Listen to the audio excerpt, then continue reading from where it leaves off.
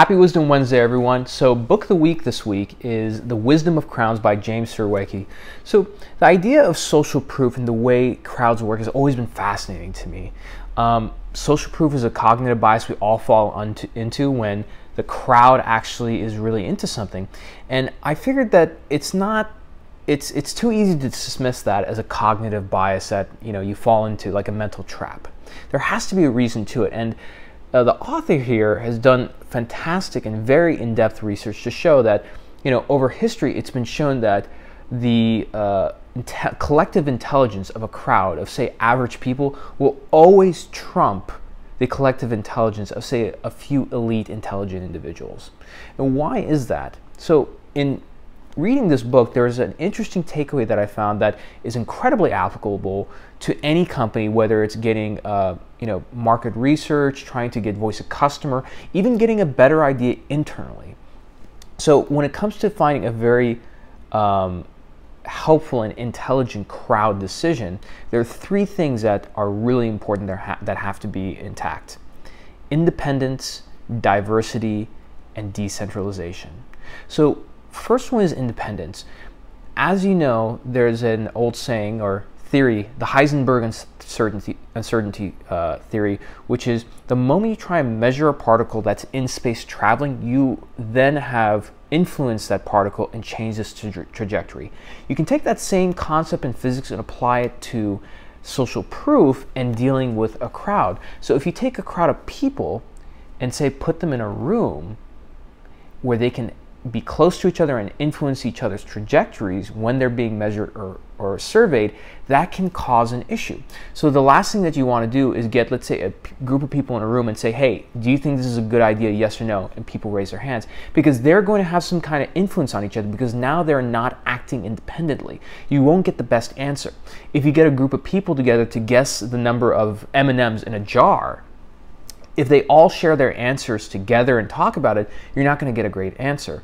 But if you have each one of those individuals answer independently and then average those numbers out, those answers actually almost always beat out the best intellectual guesses. So independence is really important. Number two, diversity. You know, uh, a great uh, uh, executive that I know, Chris Sells, who's a fantastic VP in medical device, once told me when he when it comes to recruiting executive leadership, that he always wants to make sure to get unique and independently thinking people, people with different biases.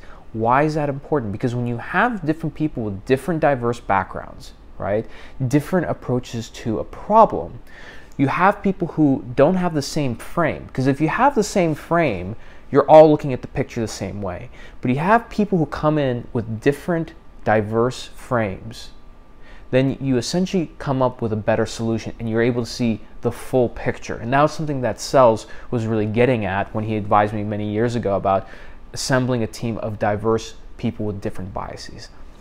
And now the last piece is decentralization. So the idea of decentralization is this, is that when you try and get people to do a task and think together, but you centralize that task and try and guide them in the process and work, you're not going to end up with the best solution.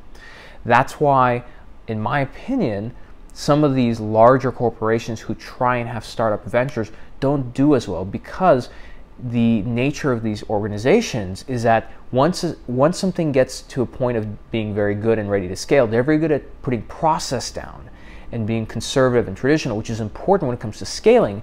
But when it comes to come up with a new and unique solution, you cannot wrangle it in with a process and centralize that kind of thought process. So that's why it's important that when you get you know a group of people together who are diverse thinkers and independent when they're creating those uh, thought processes, that that whole process is decentralized in the sense that you give them a problem to find a solution to and then allow them all to work independently with their own diverse backgrounds and biases to come up with a solution. You always come up with a better, better one. So Again, fantastic book. I would say that for the theoretical part of it, the first half of the book covers all that. It talks about the, uh, independence, uh, diversity, and decentralization. And then the second half of the book, the author really backs up uh, all this uh, uh, research by going through a lot of case studies. And based on your industry, you can get a lot just from those case studies. So again, uh, The Wisdom of a Crowd, great book, highly recommended. Go check it out. And as always,